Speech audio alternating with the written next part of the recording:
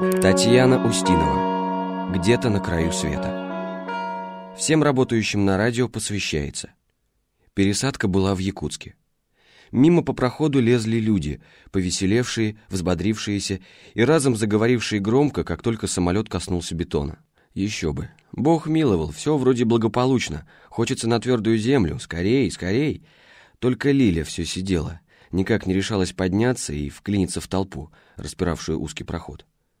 «Девушка, ну сколько ждать-то вас?» Соседка напирала на нее. Волокла из-под ног здоровенный баул, дергала, а он все никак не вытаскивался. «Вы чего, не выходите?» «Не нервничайте», — посоветовал ей парень, сидевший у окна. «Все равно не пролезете». Соседка фыркнула, покрутила головой, словно поражаясь, что есть такие ни на что негодные люди. Можно вставать, толкаться, протискиваться, а они не встают и не протискиваются. Толпа не двигалась с места. Двери все никак не открывали. Дети хныкали и конючили, женщины шикали на них, обмахивались журналами. Мужики переминались ноги на ногу, переговаривались, похохатывали. По всему самолету полки были распахнуты, из них торчали сумки, лямки, рукава, как не до конца выпотрошенные внутренности. «Когда нас выпустите, а? Когда надо будет, тогда и выпустим. И вообще, займите свои места. К выходу мы вас пригласим». Но где там занимать места?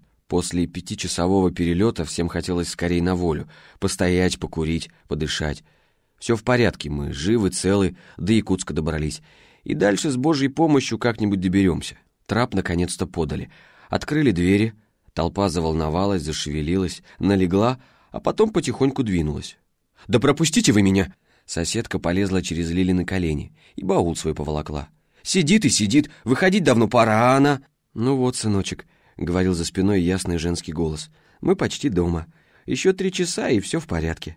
Представляешь, как хорошо. Папа нас будет встречать. Ты за папой соскучился?» «Мама, три часа — это сколько?» Три часа, сыночек, это три часа. Раз, два, три. Ты поспишь, проснешься, и уже будет анадырь. Не хочу спать, я выспался. Значит, книжку почитаем. И книжку не хочу. Я буду на телефоне играть. Пропустив последних пассажиров, Лиля с трудом вылезла из кресла и постояла немного, приходя в себя. Да уж, еще три часа и анадырь. Что же мне делать? Как спастись? Парень, защищавший ее от нетерпеливой соседки, ждал, и Лиля посторонилась. Он выбрался из узкой щели, в которую все эти долгие пять часов никак не помещались руки, ноги и спина, где невозможно было пристроить газету или ноутбук, некуда девать бутылку с водой, книжку и самое себя. Вытащил за собой портфель и только тут, в проходе, засмеялся.